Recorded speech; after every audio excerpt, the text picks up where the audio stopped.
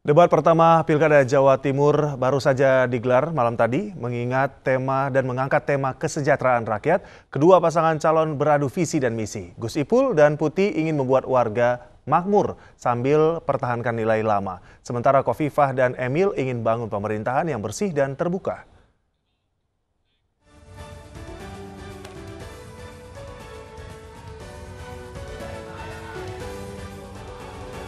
Paslon mendapatkan pertanyaan acak dari panelis saat menjawab soal pendidikan agama dan realitas pendidikan di NIA.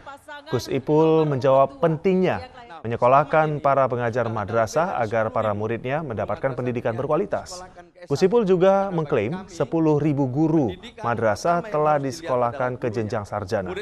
Sementara itu saat pertanyaan seputar ketenaga kerjaan, Kofifah menjelaskan akan membuat program yang tingkatkan skill para pekerja. Kofifah mencontohkan masih banyak masyarakat dengan pendidikan rendah di Jawa Timur dan akan diberlakukan spesial agar kemampuannya bertambah.